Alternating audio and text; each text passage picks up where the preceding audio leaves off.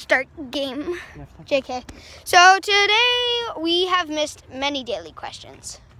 Oh yeah. Oh, so many daily questions. I forgot that was a thing. So we're going to be doing today's daily question. Okay, so today's daily question is What is your favorite series made by us?